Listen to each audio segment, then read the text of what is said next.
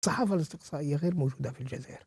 أعتقد أنه رمز لشخص ما رأيك يعتمد على ما رأيك ما رأيك حوالي قبل يعني يومين أو ثلاث شيخ السلفية في الجزائر اللي هو آه، حمداش يفتي بضرورة هدر دماء دم الكاتب والصحفي كمال داود.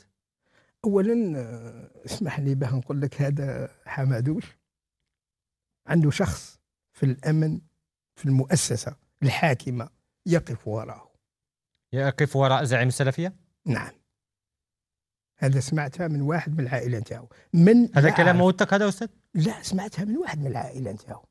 عرفني يوجد في ضراريا. داني المزرعة نتاعو قال لي آه، تعرف حمادوش؟ قلت له والله ما نعرفه. قال لي أنا اسمي حمادوش. هاو نعطي لك معلومة. قلت له قال لي تأكد منها فقط. يعني فإذا أنا شخصيا هذا الذي يأتي بفتاوى بإباحة الدم.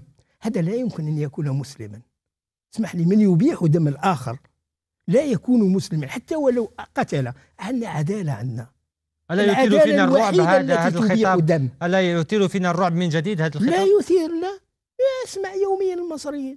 يوميا الفتاوى كانت عندما كنا في عهد الإرهاب 92 لغاية 97 بالدرجة الأولى هذه المرحلة اللي كانت صعبة. يوميا الفتاوى. أنا تعرضت ثلاث مرات للقتل.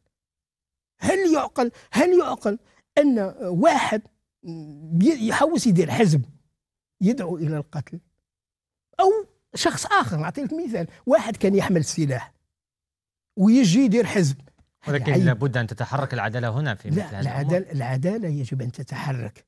كل من يبيح دم أي مواطن مهما كان دينه مهما كان عرقه مهما كان يجب أن يم... العدالة أن النائب العام يتحرك ويفتح تحقيق. لا يحق أن نسمح لأي شخص يسيء الآخرين.